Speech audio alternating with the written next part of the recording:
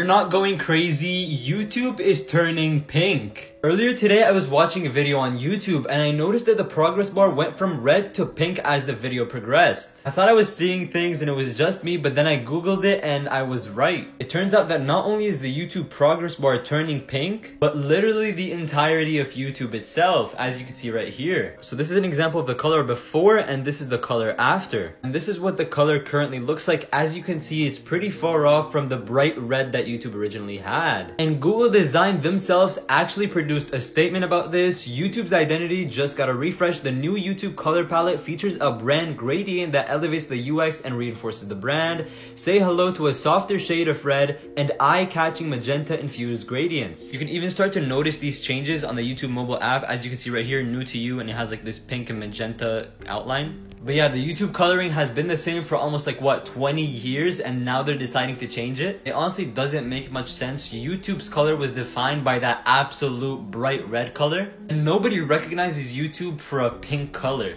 All we need from YouTube is some skippable ads and we're getting red to pink gradients on the play bar. Ad blockers barely work anymore and the ads are like 15 second unskippable. Like can we please just watch the videos? YouTube is just becoming worse and worse as a platform every single day. I can barely even justify using it at this point. But even though it is a minor change, let me know what you guys think about the new YouTube colors.